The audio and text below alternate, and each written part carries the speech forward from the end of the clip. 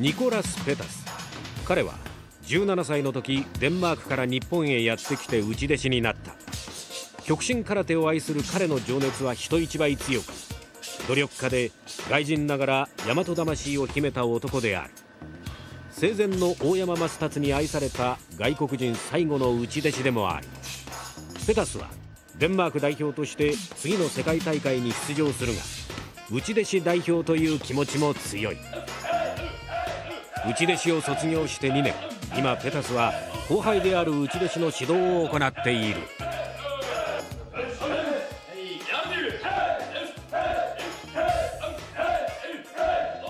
こっちの方が集中するとねえー、その逆次の方が体重がかかってこないんだよ。わかる？だから後ろ足が前に出た時ポンってこうやって決めなきゃいけないんだよ後ろ足からね。そうしないとギュッとね力入んないからな You understand? When you get forward you have to, you have to put, generate the power from the back of your leg, okay? So you, you stretch it out that way わかりました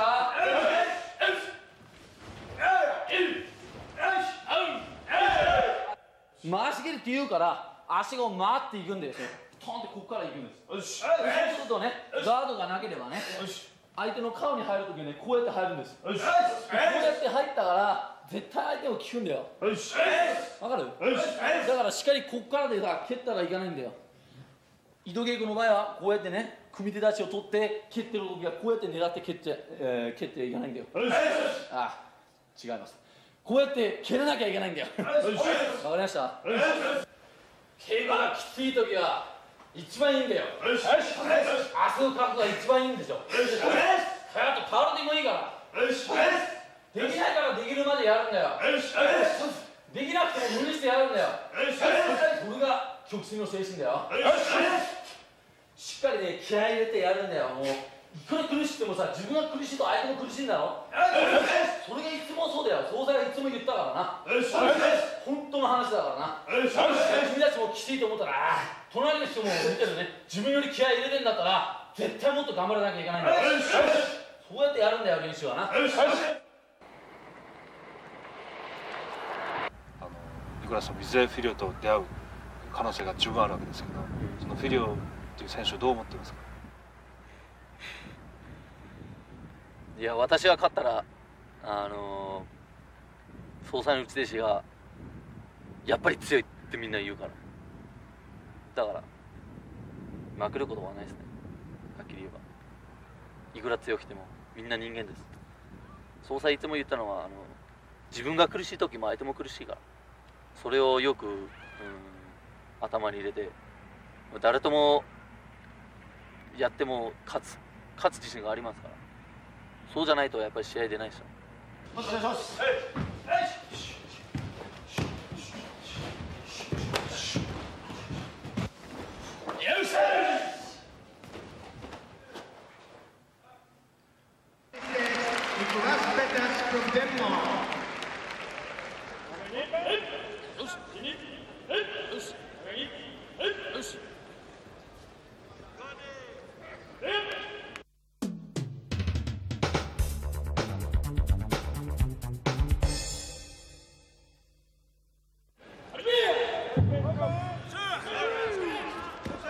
す Nicolas Peters from Denmark.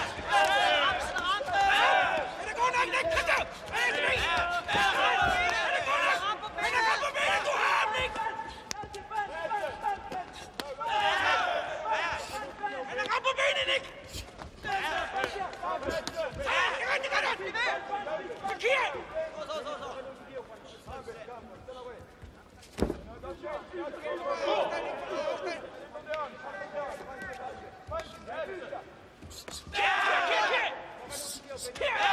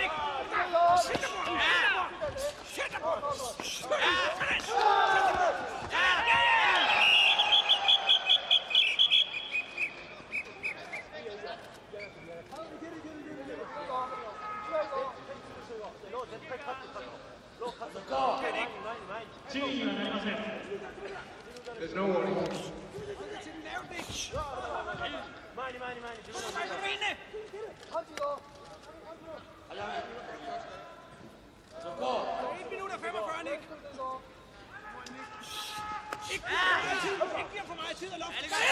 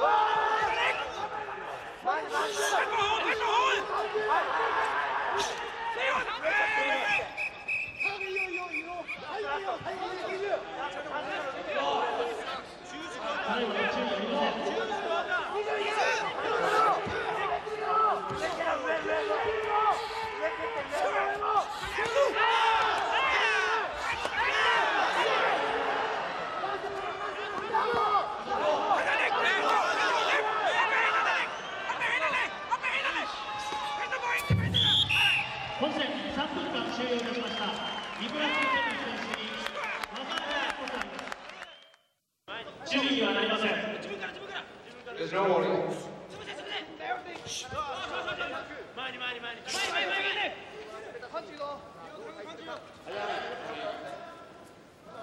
5回戦。ペタスはついに日本勢高久と対戦。痛烈な下段蹴りで技ありを奪い高久を下した。いろいろありがとうござ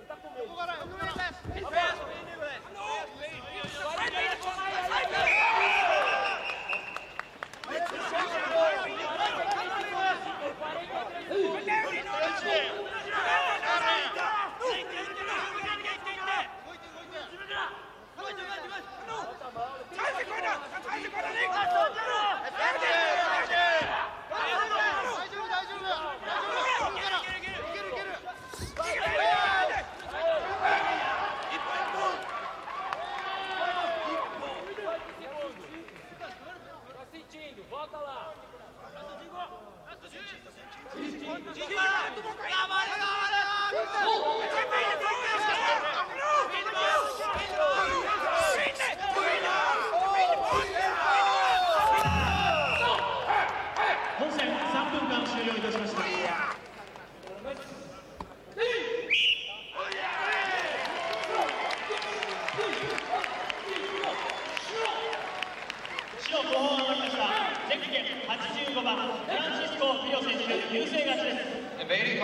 Nicolas Pena ニコラス・ペ選手にも皆様、おいでくださ。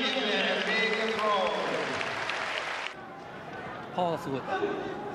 今まではもう本気じゃない感じだったんですけど俺でやったらもうガーってくる。もっとあれですねちょっと足怪我してた前の試合で、えもっとサイドのステップがやろうと思ってさうまくいかなかった。力のもんだあんな感動されたの初めてでしょ。初めて。初めて。えー初めて